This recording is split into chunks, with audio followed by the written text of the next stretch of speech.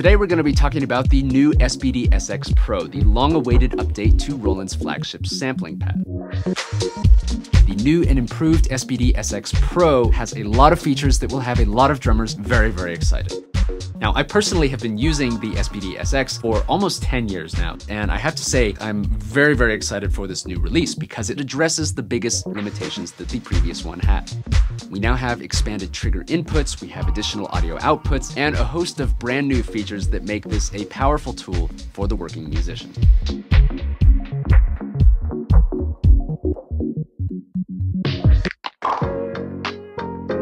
All right, so let's check out what's included in the box. This video is sponsored by Sweetwater, so massive thank you to Sweetwater for sending over this unit for me to unbox and check out. All the gear that I talk about today will be linked below. These are affiliate links, so if you want to help out the channel with no additional cost to yourself, check them out at Sweetwater. With that said, let's check out what's in the box.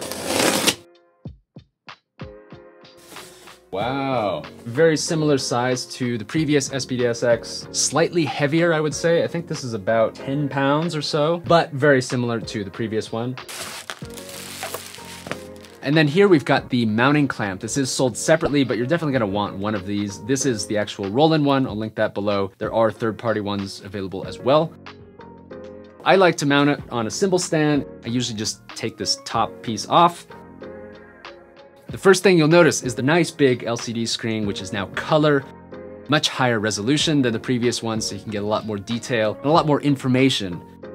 Right now, I've got it plugged into a DI. This is typically what you would plug into at a venue, and then I'm going from the DI into my laptop, which should, in theory, be recording right now. So let's see if we get any sound. So I'm just gonna plug my headphones in so that I can hear what you're already hearing. I think there's some sort of dance groove happening here. A very good thing to have is a headphone extension.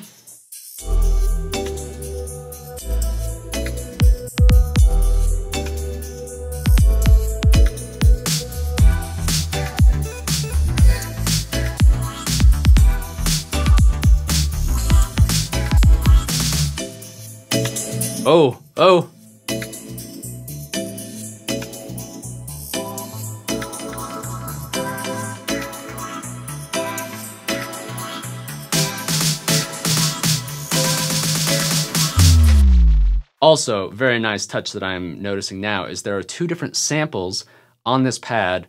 One is only being played at low volumes, and one a different one is being played at high volumes. So that's a new feature. That's gonna help with ghost notes, right? We got some 80s stuff. Ooh, I like that snare. That's an acoustic kit.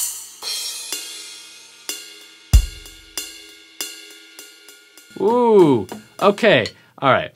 We didn't talk about this yet, but the sensitivity on these top shoulder pads, woo, I'm playing so quiet.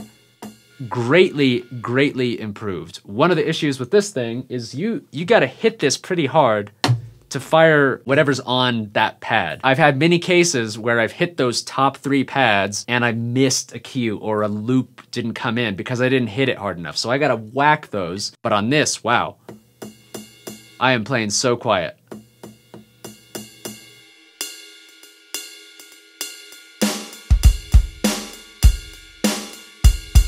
Major upgrade right there that I know a lot of people will be excited about.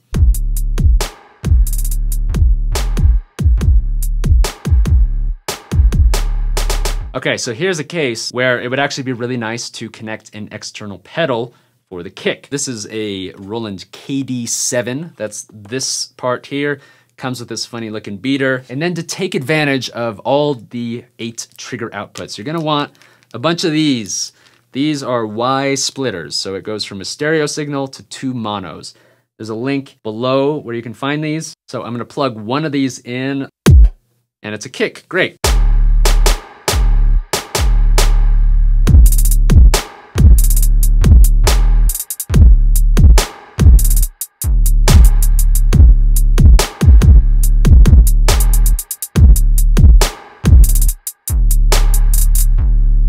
Course, now with eight of those, you can plug all kinds of stuff in. You've also got an input for a hi-hat or expression pedal. So that's with my foot now. Open, closed.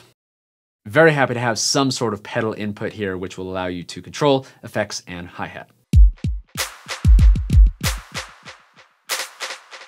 So with that in mind, I think now's a good time to hop on the kit, do a little comparison of two SPD SXs, and um, we'll get the show on the road.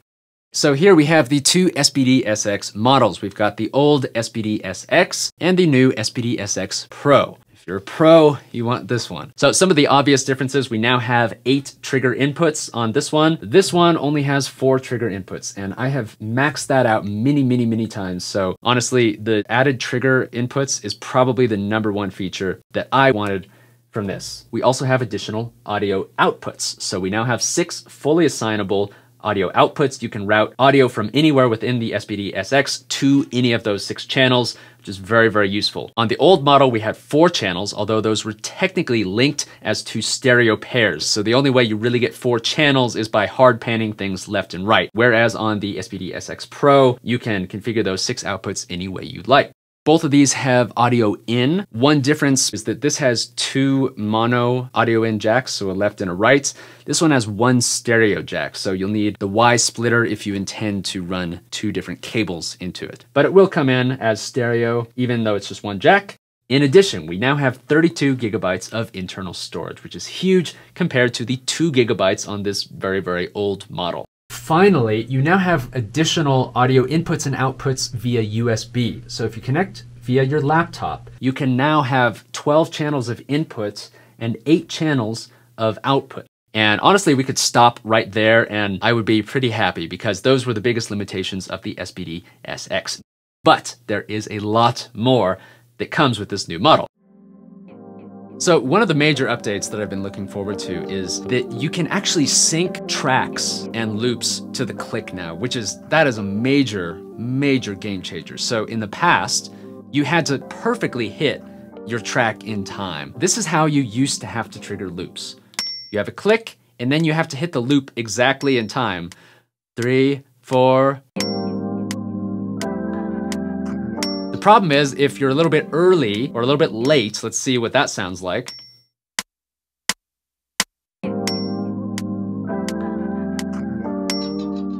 Now it's like an anticipation, not an intentional one. So now in the new version, I should be able to sync this to the track so I can hit that pad anywhere in that last measure and it's gonna start on the downbeat. Oh, I'm pumped about this. Here we go, click track.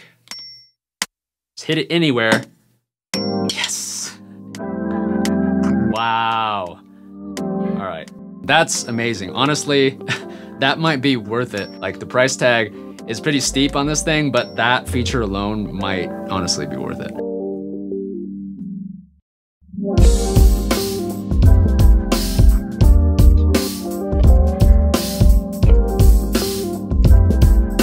Another one of the new features useful for tracks is that you can now do some very cool things with what's called pad sequences. The pad sequence allows you to cycle through a series or sequence of pads in a predetermined order by hitting a single pad. So this could be like A section, B section, C section. For example, there's my first sample. Then I have an A section and then I have a B section. And then we actually go back to the A section, which is stored on this same pad. So I don't need a whole new pad for the second A section. We just go right back to this one.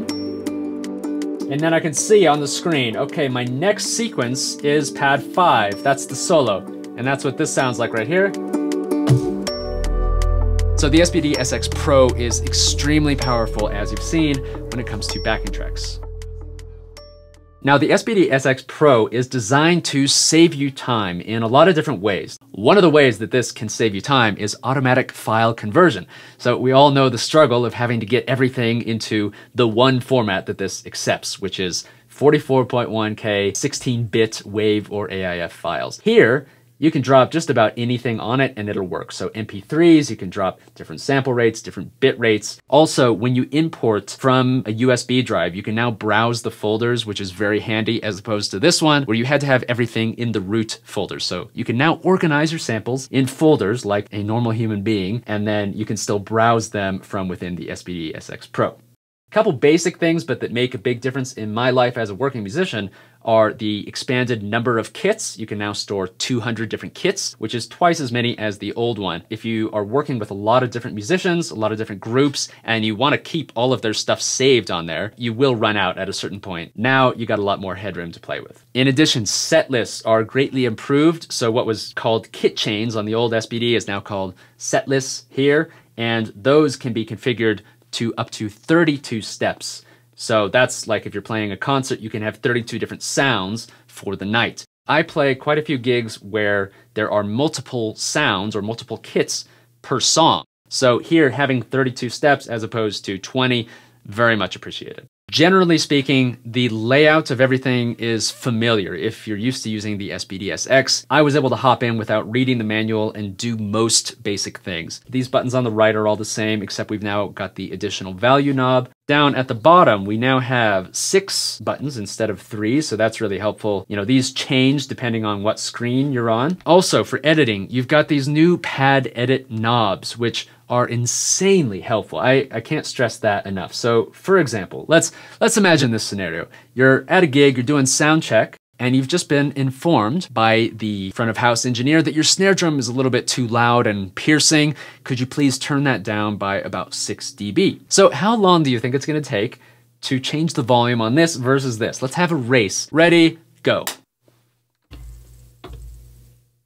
Done.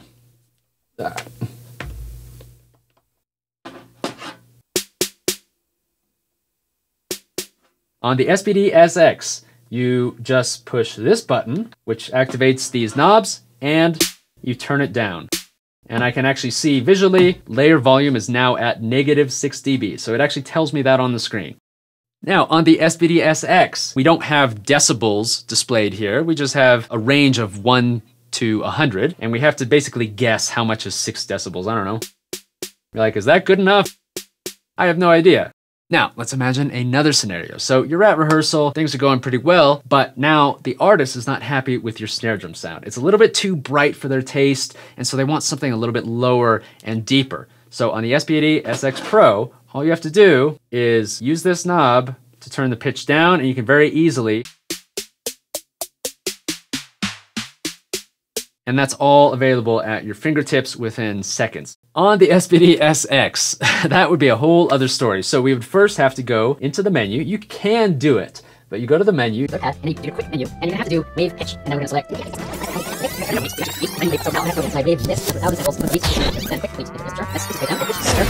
And now we have a lower drum. A little bit lower, but not nearly as low as this. We're talking about a lot of time that I'm wasting and you know potentially wasting other people's time and money while I'm trying to fix this thing. Whereas here, you need to adjust the volume or the pitch. Do it all right here with the touch of a knob. Now, if you push this select button again, we're now in transient editor mode. So this is brand new. You can actually add a little bit of transient or attack onto the beginning of that note. So if I slowly turn this dial, you can hear that it's adding a lot more attack, a lot more brightness to the beginning of the note. Or you can go the opposite way and actually remove some of the transient. A very soft attack. And then you've got a second knob for the transient release. So that just adds like a little bit of thickness, I guess, to the transient. It's hard to describe exactly what it's doing. To me, it feels perhaps like adjusting your snare wires on a snare drum. Just loosen that and get a little bit fuller, longer snare rattly sound. Just kind of thickens it up for me as opposed to nothing. And you can adjust all of that very quickly right here using these knobs. Another really great feature is that we now have the ability to fade in or fade out a sample. So this is separate from the transient editor, which I just showed. Likewise, you can adjust the decay. And by the way, you now have this value knob, which is very handy. I actually didn't even know this was there until yesterday. So I went like three days without even realizing this knob was here, but it's very helpful. So basically whatever you're selected on in the menu, you can adjust the value using this value knob. So there's a very short decay, so I can easily adjust the length and the attack of a sample. We also now have an individual EQ for every single pad, and not only every single pad, but every layer of that pad. So you've got independent EQ for every single sound that you're playing on the SPD SX Pro.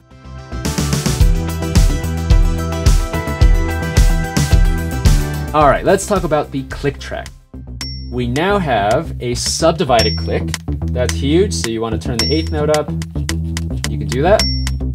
Also have 16th and triplet.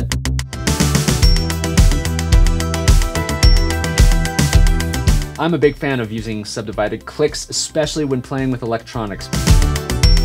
That's a very useful feature for me. You can also now change the click time signature. So if you want to have it in three or five or seven, you can do that here seven, one, two, three, four, five, six, seven, one. And you can do different time signatures all the way up to nine. Maybe not designed for people to do a lot of odd time signatures, but it is better than nothing. So that's nice. Other improvements include the ability to start the click by hitting a pad. So if you've got a backing track, you can program that pad to start the click as well. And you've also got the ability to do what's called a sample delay now, which is you can start a sample after a certain number of beats. So for example, if you want to do a count off, you can hit your pad, starts the click for four beats, and then immediately after those four beats, your backing track will come in.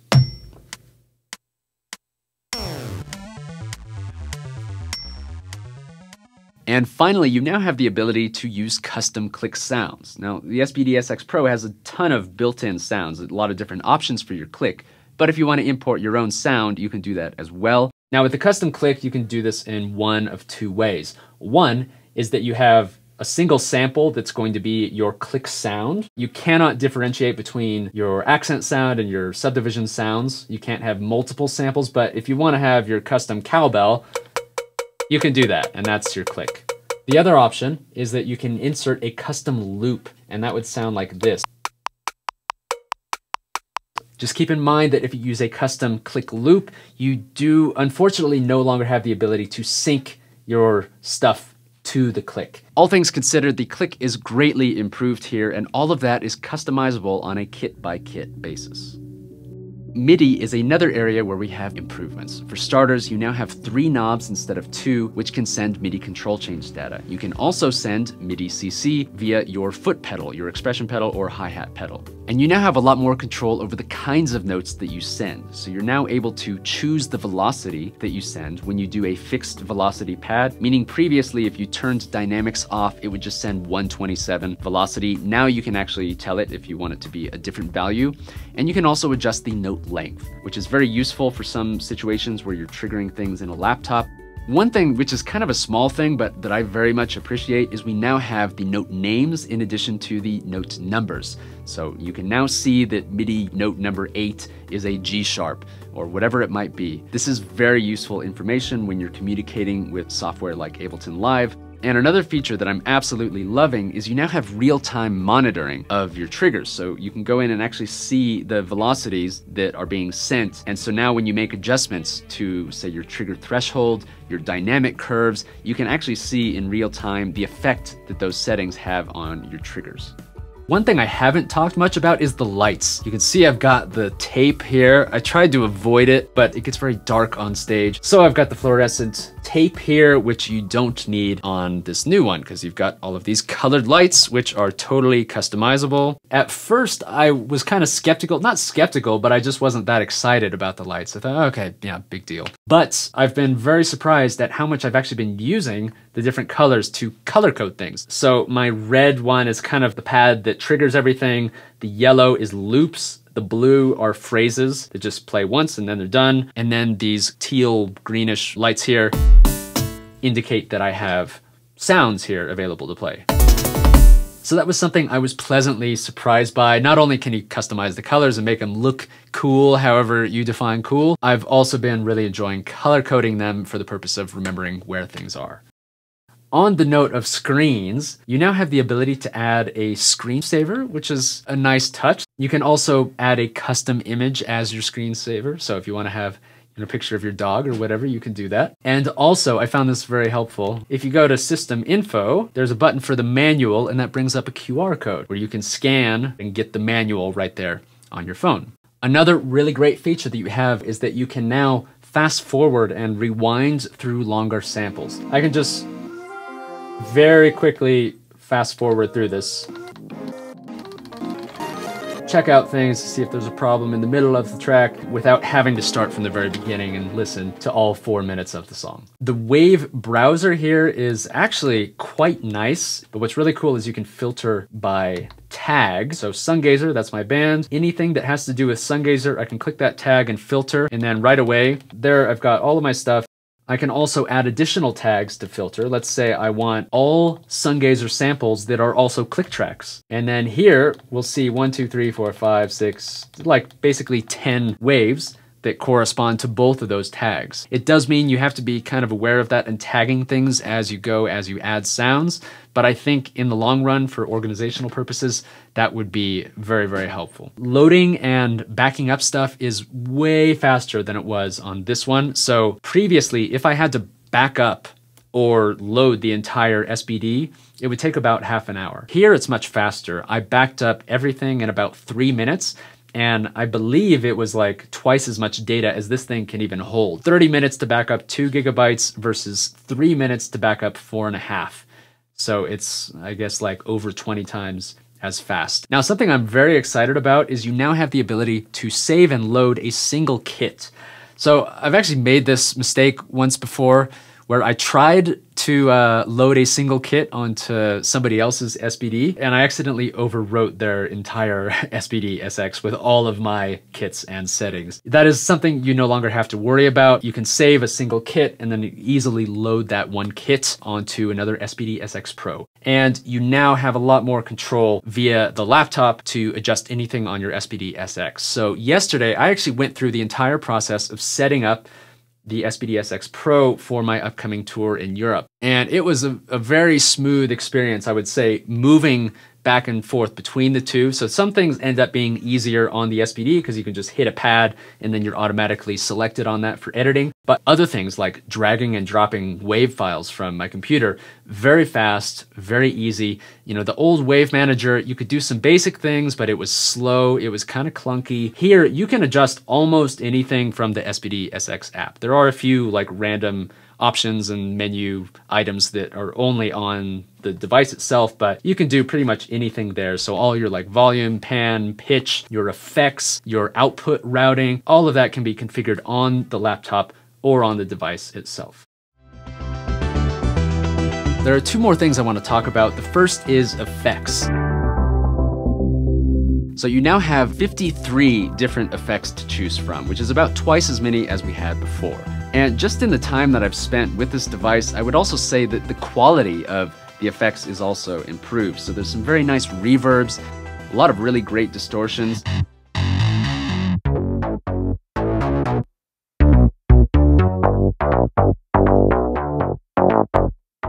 And there's some brand new effects that we didn't have before. So for example, I'm really enjoying these lo-fi effects. There's a lo-fi compressor, which is really cool.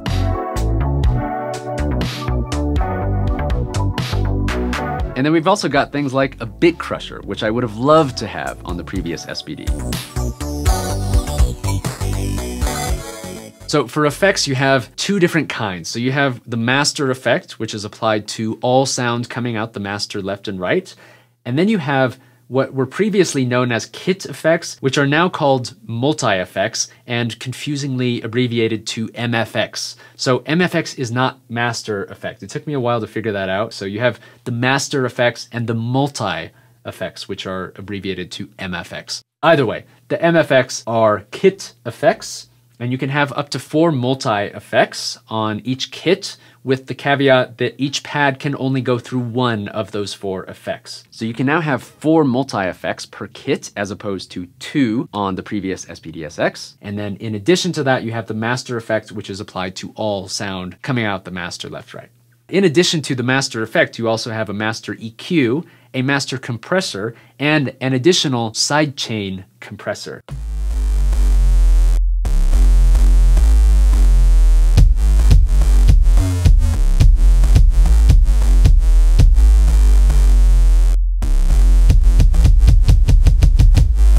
Right? So you can really hear when I hit the kick drum that that backing track gets tucked away in the background.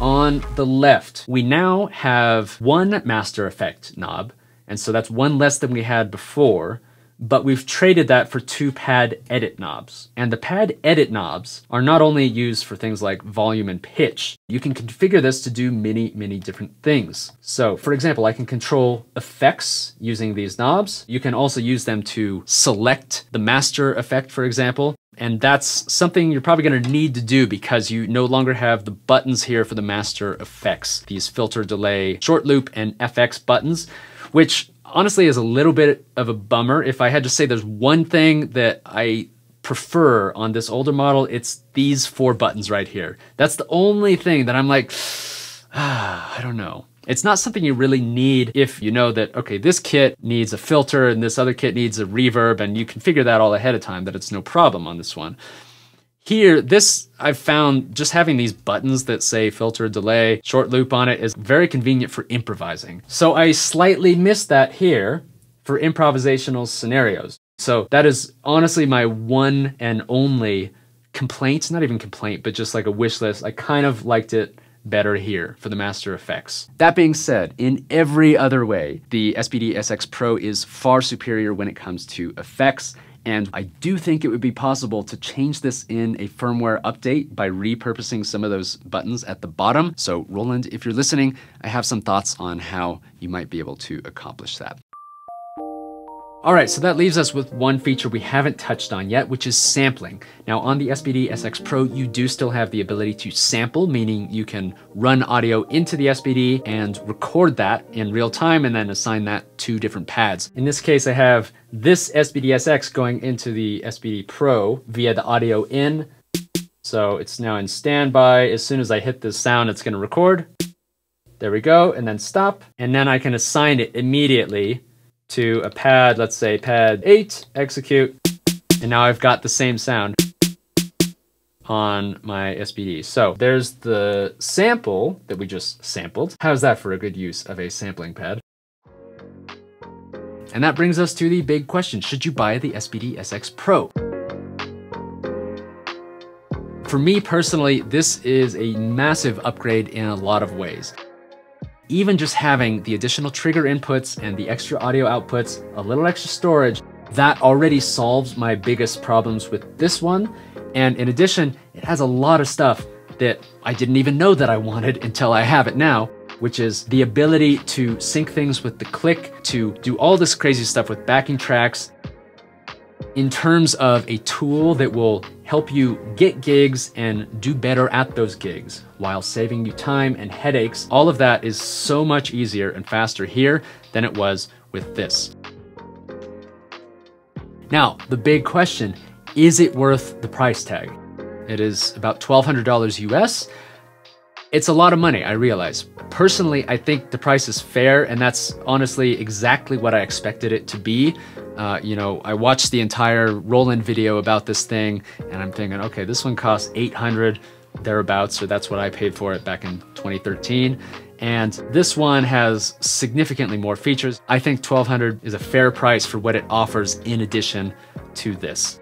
Because when I consider the amount of value I've gotten out of this, not, not only artistically and musically, the kinds of things I can do, but like the actual monetary value, if we're gonna be frank and talk about you know, using this as a working musician. It's a big investment, but it's something that paid for itself many times over over the course of the last 10 years. So are there any things that I wish this did that it doesn't? I think the only big thing is the Master Effects buttons. I do miss those, and I do think, Roland, if you're listening, you could repurpose some of these buttons to fill that need in a firmware update. I don't know. Overall, this is far and away a massive upgrade over its predecessor. I think in this category of like a drum pad thing that you hit and it makes a sound and you can do the backing tracks and all the click stuff. I think this is hands down the best one out there. I think before that, even the predecessor was the best among the competition, and there's a reason that everybody uses this one. And this new one is significantly better than the old one. Those are my thoughts. You can find links to the SPD SX Pro on Sweetwater. Those are affiliate links. So if you want to support the channel at no extra cost to you, you can do that by using any of the links below. Sweetwater is my favorite place to buy music gear. I've been buying a ton of stuff from them for our tours recently. Cables, microphones, DIs, you name it. They have great customer service, they ship fast, and they ship with candy. So what's not to like? So thanks again to Sweetwater for sponsoring this video, and thank you for watching.